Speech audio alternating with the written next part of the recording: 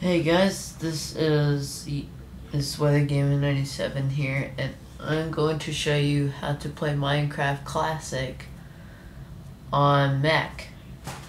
Now, basically, uh, let's go to single player, and now and now basically it comes up with a black screen, and then you always have to just click run, and then you have to keep doing it and all that stuff, basically.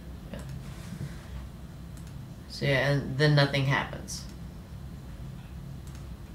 And all you have to do is basically you have to reload the page, uh, click Shift Command, and it should open, open up this applet loader. You always have to just do this every time, does this every three times. Or actually four. And see it's generating level. And it should pull up this while while I was planting. Just keep doing it. And, there you, and then just switch back here and there you go.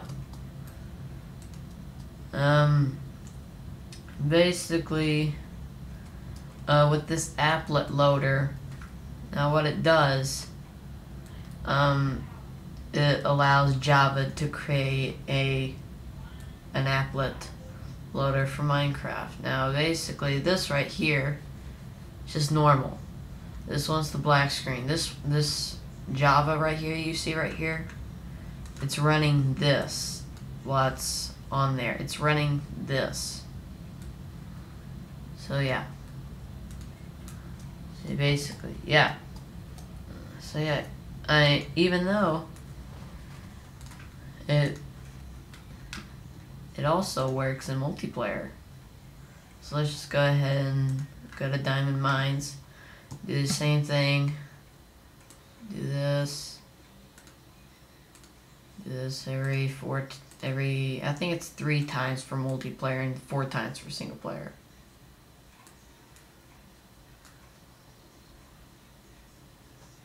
It's gonna load, now may, oh, may, oh, never mind.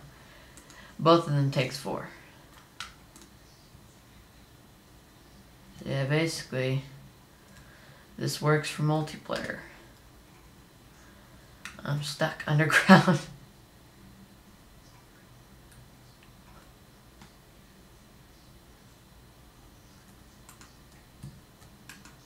See? Your rank is not allowed to build in this world.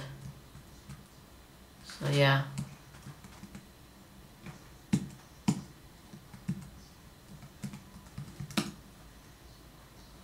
Okay, no deleting others' work.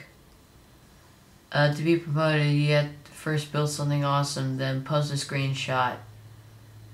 And then you're supposed to, and then, so yeah, basically, yeah. So, um, that's all for this video tutorial of how to play Minecraft Classic, single player and multiplayer, on your Mac. So yeah, all of this is creative. Now, there's no survival in this. It's just creative. Okay.